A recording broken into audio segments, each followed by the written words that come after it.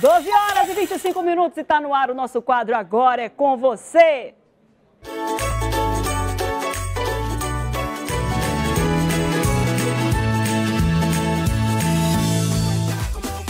E tem um rostinho aí doido para ganhar uma cesta ótimo. Basta se reconhecer, falar com alguém para trazer você aqui que a gente tem duas cestas. Roda para mim.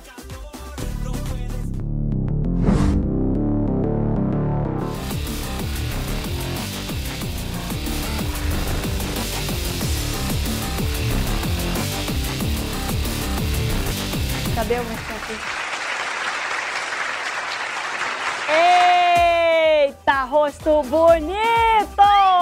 Vai ganhar cesta ótimo! É só você vir aqui para poder pegar sua super cesta e nós temos cinco modelos de cesta ótimo. Tem uma cesta premium, essa aqui no valor de 50 reais com 11 itens, cesta bronze no valor de 65 reais com 14 itens, cesta prata no valor de 100 reais com 17 itens e nós temos a cesta ouro no valor de 150 reais. Aqui na cesta ouro tem material de limpeza também, são 27 itens. E olha o tamanhão dessa cesta diamante no valor de 170 reais com 26 itens. Aceita todos os cartões de crédito, débito e vale alimentação. Não aceita nota promissória. Entrega grátis em qualquer parte de Manaus. As cestas podem ser personalizadas conforme a sua necessidade. Entre em contato pelos telefones via WhatsApp 991-880321, 984-000339.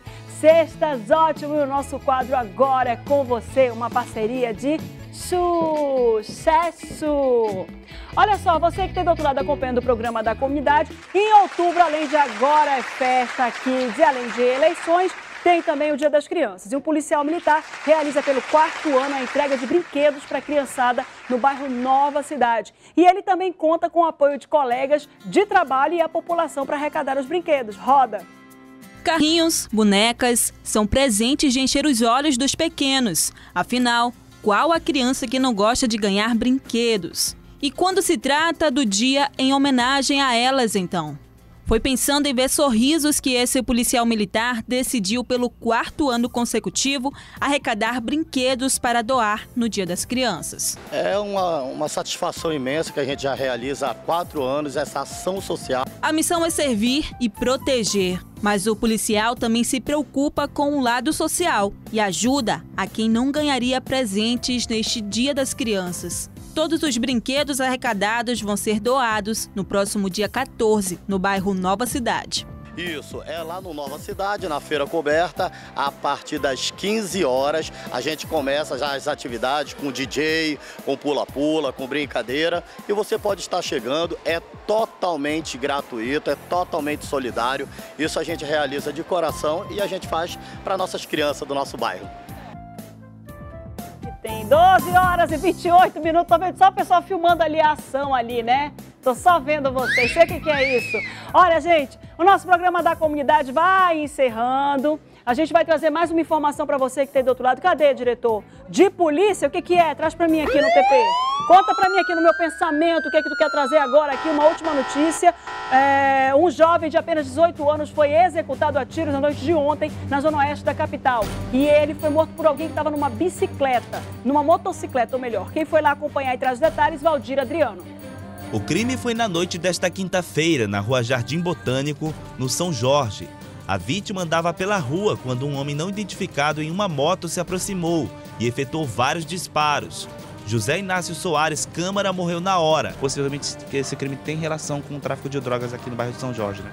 A nossa informação é que ele tem envolvimento com o tráfico de drogas. Segundo familiares, o jovem estava sendo ameaçado de morte e já havia escapado de um atentado há cerca de um mês. Já correram atrás dele para matar, ele não conseguiu. Ele mesmo tinha falado que ia sair dessa vida, né? José Inácio iria se apresentar no quartel nesta sexta-feira. Ele já tinha uma passagem por roubo, segundo a polícia. O caso será investigado pela Delegacia de Homicídios e Sequestros. E agora a Meia Chapiema traz mais um destaque de homicídio, dessa vez no centro da cidade. Mei.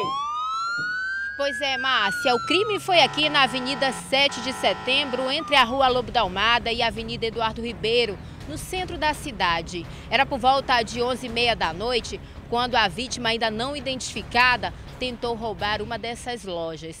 Uma outra pessoa que estava vendo toda a movimentação dessa vítima, viu quando ele tentou roubar essa loja e veio e atingiu três facadas nele, que morreu aqui no local, bem em frente a essa drogaria. Aqui no local ainda é possível ver marcas de sangue da vítima. Segundo informações de algumas testemunhas que estavam aqui no local, eles relataram à polícia que esse homem estava acostumado a cometer roubos e furtos aqui na área e que era usuário de drogas.